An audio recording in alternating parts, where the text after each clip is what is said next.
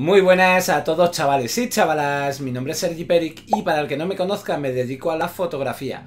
Hoy volvemos con un nuevo capítulo del curso de configurando cámaras y efectivamente seguimos con la Olympus EM1. Hoy ya estamos en la recta final de los menús y hoy nos toca el menú de utilidades de la cámara.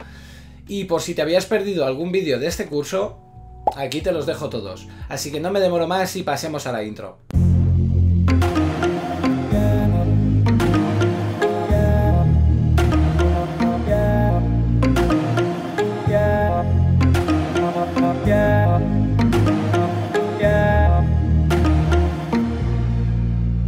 Bien, como os he dicho antes de la intro, hoy vamos a tocar el menú de utilidad de la Olympus EM1 y para ello vamos a conectar la cámara al ordenador y vamos a ver todas las opciones que nos trae este menú.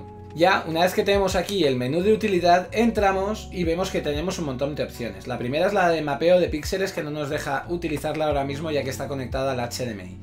La siguiente es el cambio de exposición, que esta es muy interesante ya que podemos cambiar el tipo de exposición y compensarla dependiendo del tipo de exposición que estemos utilizando. Si la matricial, la ponderada al centro, la puntual. Desde aquí podemos subir o bajar pasos de luz para cada tipo de medición de exposición. La siguiente es el ajuste del enfoque en autofocus. Está desactivada ya que ahora mismo eh, el objetivo que está montado no lo permitiría. Aviso de nivel de la batería. Desde aquí podemos configurarla para que nos avise cuándo nos debería decir que cambiemos la batería.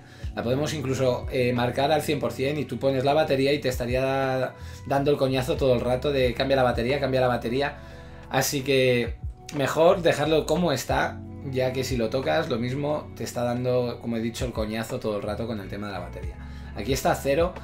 Eh, no sé cómo va el tema del nivel de la batería, pero lo mejor es tenerlo a cero.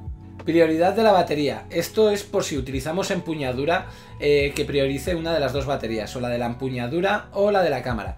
Yo recomiendo siempre activar la de la empuñadura, ya que si se gasta la empuñadura, sacas la batería y no tienes por qué apagar la cámara, mientras la puedes tener encendida, ya que va a estar usando la segunda batería, que es la que lleva el cuerpo de la cámara.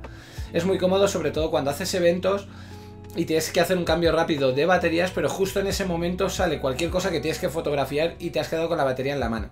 Si gastáramos primero la de la cámara, a la hora de cambiar la de la empuñadura, tendríamos la cámara apagada y no podríamos realizar esa foto. Así que siempre recomiendo que gaste primero la de la empuñadura y la del cuerpo que la tenga como reserva.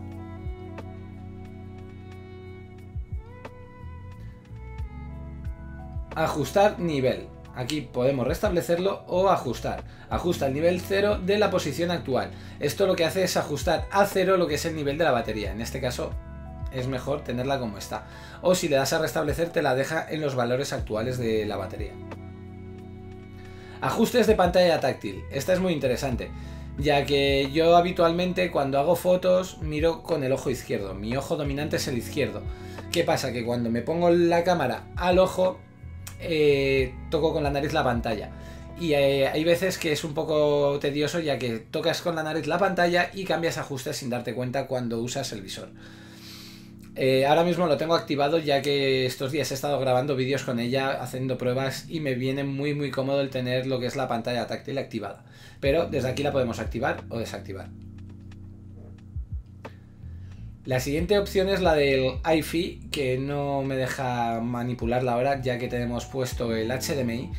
Velocidad del zoom electrónico. Eh, esta opción es ya que los objetivos como el que lleva montado ahora mismo el, Zuico este, el 1250, eh, tiene un anillo con tres posiciones. Una posición macro, eh, una posición normal, que es como si hiciéramos un zoom normal con cualquier otro objetivo, y luego tiene una tercera posición que lo que hace es como el típico zoom de las cámaras de vídeo, que giras de izquierda a derecha y él solo va haciendo el zoom.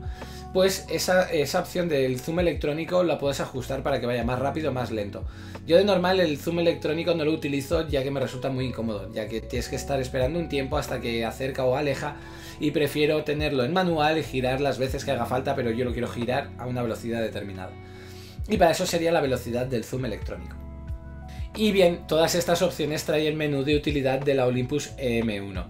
Eh, ¿Qué decir? Pues poco más. Si te ha gustado el vídeo de hoy, dame un buen like. Si tienes alguna duda al respecto o me quieres aportar algo, abajo en la cajita de los comentarios me escribes que estoy dispuesto a contestarte Y si hay alguna rectificación, pues también me lo dices y rectificamos.